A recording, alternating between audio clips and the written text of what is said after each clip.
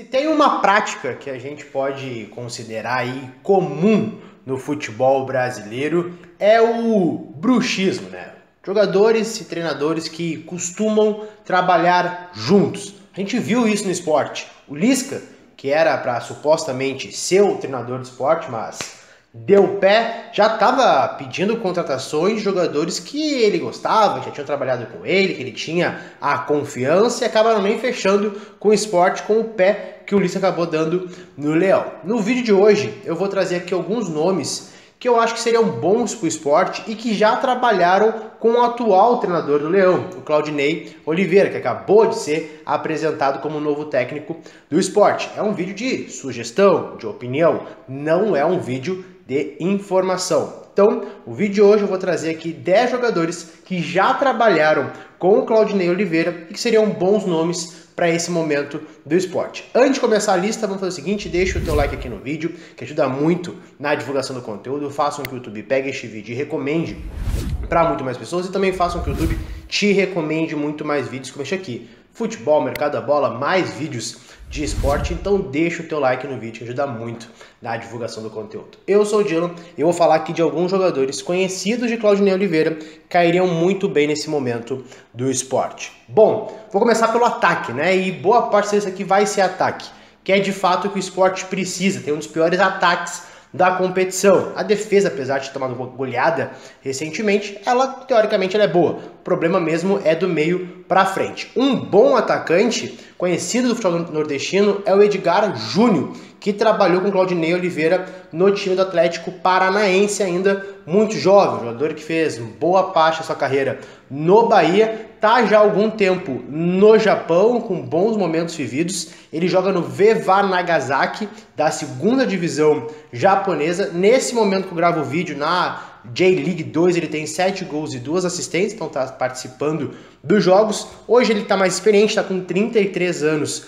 de idade, sempre foi um atacante ali de movimentação e acho que seria um ótimo nome para a Série B, para o time do esporte, para começar a fazer gols. Outro bom nome, esse mais de meio de campo, que o esporte também precisa, é o Pato Rodrigues, ou Patito Rodrigues, que trabalhou com o Claudinho Oliveira lá atrás, na época de Santos, na época de Neymar saindo do Santos. O Patito Rodrigues que é um jogador que atualmente está jogando futebol boliviano já há mais de uma temporada, está com 32 anos agora, está jogando no Bolívar, que é treinado pelo Antônio Carlos Zago, e ele jogou anteriormente no Jorge Wilson, então está desde 2020 na Bolívia. Acho que para nível de Série B é uma boa contratação, jogador que tem qualidade para esse nível de competição. Outro para meio de campo, bem qualificado, é o Léo Cittadini, do Atlético Paranaense. Começou lá com o Claudinei Oliveira no Santos. Já foi muito importante no time do Atlético, em conquista de títulos, inclusive, está com 28 anos de idade, mas hoje ele é menos utilizado. Tem 11 jogos no Campeonato Brasileiro, maioria deles saindo do banco, não poderia se transferir para outro time do Brasileiro da Série A, mas para a Série B ele pode. Daqui a pouco faz sentido o esporte olhar, ver se tem a possibilidade de fechar um empréstimo com esse jogador. Outro atacante que está no Japão é o Thiago Alves, que trabalhou com ele no Santos e também no Paraná. É o centroavante de 29 anos de idade, faz um tempo também já que roda no futebol mundial, joga também na J-League 2, joga no Fagiano Okayama.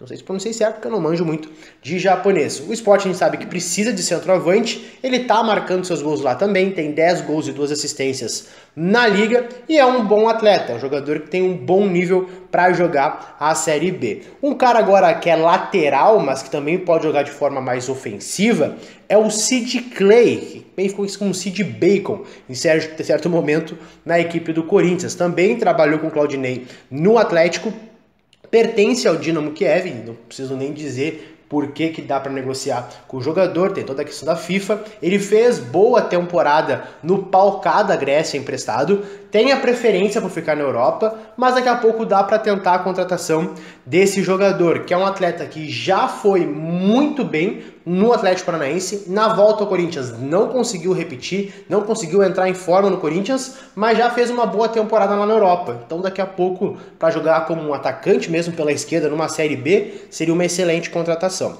Outra excelente contratação seria do Natan, jogador do Fluminense, atleta que atualmente está emprestado pelo Atlético Mineiro, também trabalhou com Claudinei lá no Atlético Paranaense, 26 anos de idade, foi especulado há pouco tempo no Grêmio, outro time da Série B, e é um jogador que também tem a mesma característica lá do Léo Cittadini.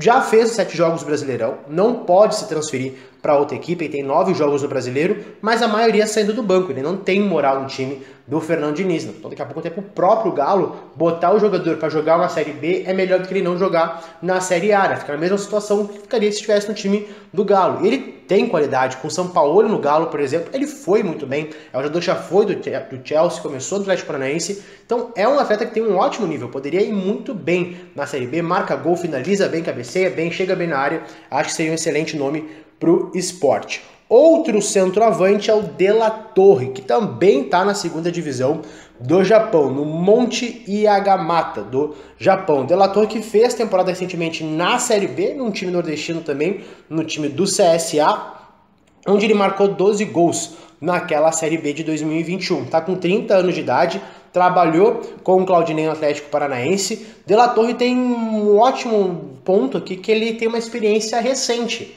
em Série B. Ele conseguiu ir bem numa Série B recentemente. Isso ajuda, né? Adaptação. Não teria que sofrer tanto para se readaptar ao futebol brasileiro. Não, ele estava aqui ano passado fazendo gols. Então seria um nome para chegar e jogar no time do esporte. Outro atacante aí é o Joel. Joel Tagueu, jogador que é camaronês, jogou no Havaí com o Claudinei Oliveira. Jogador hoje está no Marítimo de Portugal. Essa é uma contratação que seria mais difícil, porque o atacante camaronês está jogando. Mas ele tem bastante história aqui no Brasil, né? Jogou no Cruzeiro, Botafogo, Santos, Coritiba, Londrina.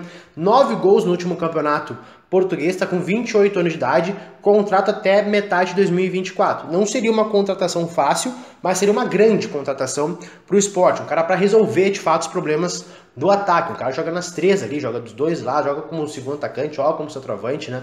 Então é um atleta multifunção com um nível acima dos demais atletas da Série B que chegaria para resolver a situação. Outro atacante que está no Japão é o Júnior Dutra, do Havaí. Na verdade, passou pelo Japão, já jogando em Hong Kong.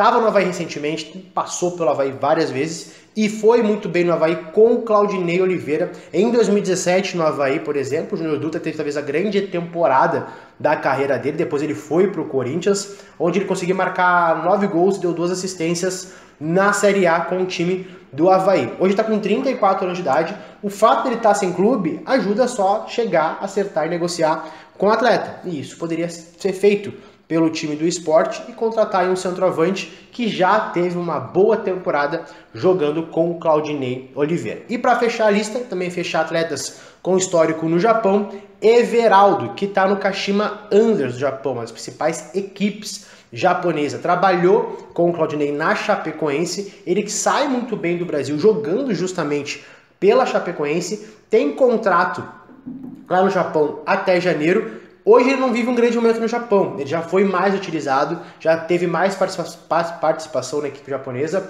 hoje ele tem menos, então dá para facilitar, ele vai acabar o contrato mesmo, daqui a pouco consegue a contratação. E o Everaldo eu acho que tem nível até para a Série A mesmo, já foi especulado em times grandes da Série A, times que tinham bom poder aquisitivo no momento. Foi especulado no Grêmio em certo momento para voltar, ele quer da base do Grêmio, no momento de auge do Grêmio com o Renato Gaúcho. Então ele nível tem, ele não vive um bom momento, mas nível ele tem. Daqui a pouco voltar para o Brasil, jogar uma Série B, esse cara se recupera e entrega gols para o time do esporte. Mas enfim, comenta aqui embaixo o que vocês acham.